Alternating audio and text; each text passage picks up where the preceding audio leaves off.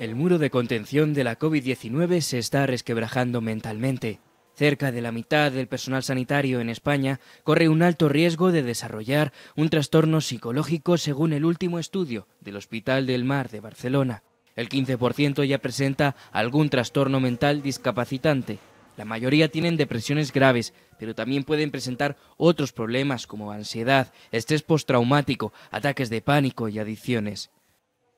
Hay pacientes que, que a lo mejor no saldrán adelante y se despiden de la familia o que les piden a la enfermería, oye, avisa a mi, o dile a mi mujer esto, o dile a mis hijos que le quiero, cosas así.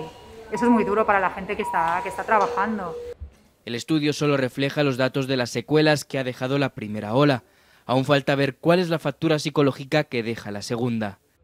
Desde el punto de vista de la sociedad hemos de pensar que eh, si queremos ser cuidados adecuadamente tenemos que cuidar a los profesionales sanitarios que han sufrido y también están sufriendo. Los trabajadores demandan una mayor responsabilidad por parte de la población para evitar que se sature el sistema y que aumente el número de casos y muertos en los hospitales. Y es una de las situaciones clínicas de cualquier enfermedad más difícil para un paciente, ¿no? el, tener la sensación de que te falta el aire uh, y que se te escapa la vida ahogándote. Y esto es muy duro y es un paciente detrás de otro.